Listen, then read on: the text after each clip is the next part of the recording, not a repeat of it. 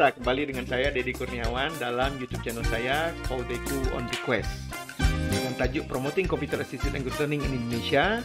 Uh, tujuan channel ini adalah untuk mendemonstrasikan, menjelaskan berbagai aplikasi-aplikasi menarik yang dapat digunakan untuk memperkaya proses pembelajaran.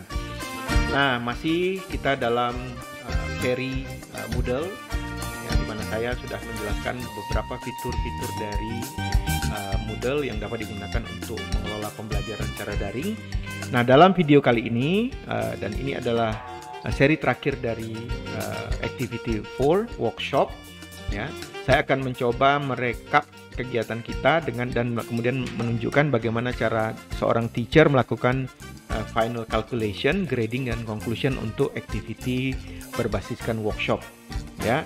Nah, jika pada pertemuan uh, video sebelumnya saya melakukan sedikit kesalahan sehingga tidak berhasil menampilkan uh, grading dalam sisi siswa ya, tetapi uh, pada dasarnya sebenarnya yang uh, dilakukan adalah kurang lebih mirip gitu ya. Nah, sekarang kita akan lanjutkan video kali ini dengan penutup ya, bagaimana cara merekap nilai dan menutup kegiatan berbasis uh, workshop ya. Oke, saya masuk dulu sebagai teacher.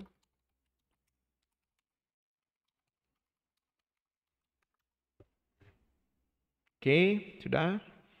Kita masuk ke kelasnya. Nah, jika belum sempat menonton video-video sebelumnya, silakan ditonton karena ada beberapa hal yang sudah saya tunjukkan juga, termasuk bagaimana cara mengambil alih atau membypass nilai dari uh, student ya. Kalau misalnya ada mahasiswa yang belum mendapatkan penilaian, karena kan kasihan ya, mahasiswa sudah mengumpulkan tugas tapi tidak dinilai dengan baik dan rapi. Oleh karena itu, sepertinya uh, seorang guru juga bisa mengambil alih tugas ini ya untuk memberikan penilaian. Nah, karena kita sudah selesai, kita asumsikan bahwa ini semua sudah selesai, lengkap. Ya. Kita bisa melihat uh, paper siapa, dinilai oleh siapa, berapa nilainya ini bisa dilihat dari uh, layar monitor atau kontrol workshop. Oke. Okay? Nah, kalau kira-kira sudah selesai, ya katakanlah ini kita anggap ini sudah selesai semua, kita bisa langsung switch to the evaluation phase di sini. Kita akan masuk ke grading evaluation. Kita klik switch, kemudian continue maka kita sudah bisa melakukan kalkulasi.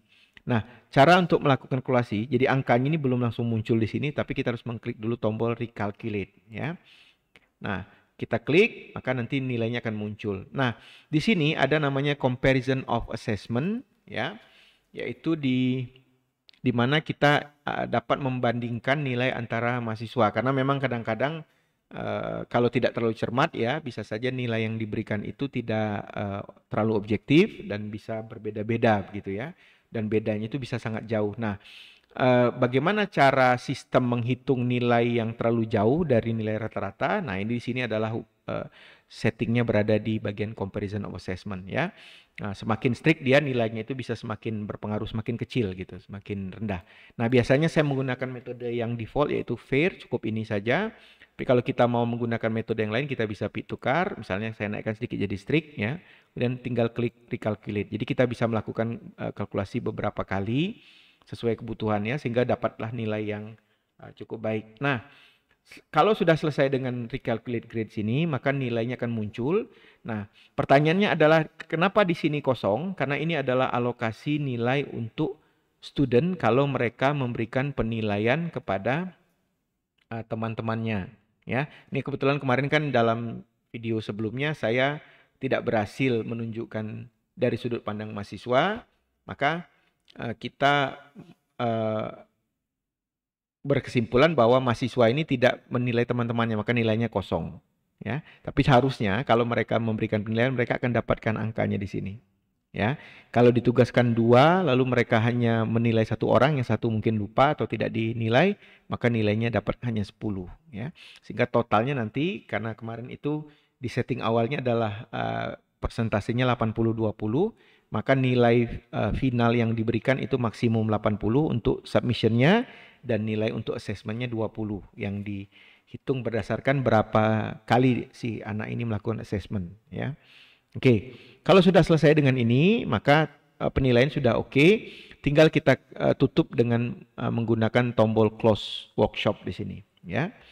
Nah, di sini saya sudah menyiapkan conclusion of the activity. Jadi sebenarnya memang yang paling ideal itu adalah setelah mereka melakukan kegiatan peer assessment dan melakukan uh, submission dan peer assessment uh, seharusnya ada semacam uh, conclusion ya. Mungkin uh, mengajak mahasiswa untuk refleksi untuk menilai ulang apa yang sudah mereka lakukan apa yang mereka dapatkan dan apa manfaatnya nah kalau sudah selesai dengan ini semua maka tinggal kita klik close workshop ya. Nah begitu workshop ini close tertutup maka nilai tadi bisa langsung ditunjukkan ya langsung ditunjukkan kepada uh, mahasiswa yang bersangkutan ya. Langsung ditunjukkan pada mahasiswa jadi langsung masuk ke grids mereka. Jadi kalau belum di close maka nilainya baru kita yang tahu gitu.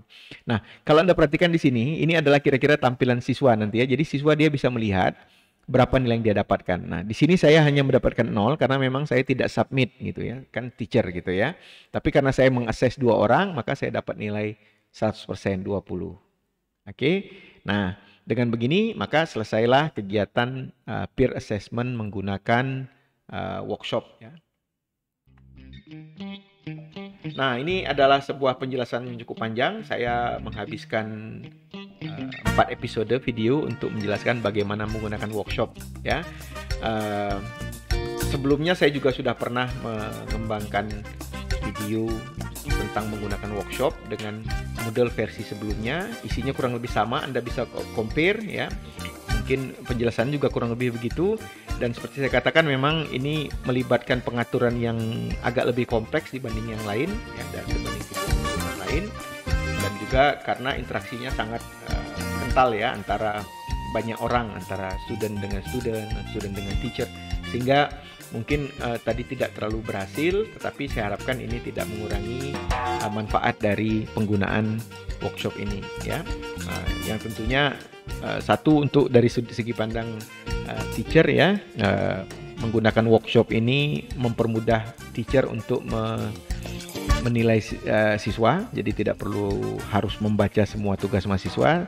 Tapi di sisi siswanya sendiri ini sangat membantu karena dapat uh, mengajarkan mereka, mewasiatkan mereka untuk berpikir kritis, untuk memberikan nilai secara objektif, ya, belajar mengevaluasi dan menganalisa. Ini adalah satu apa?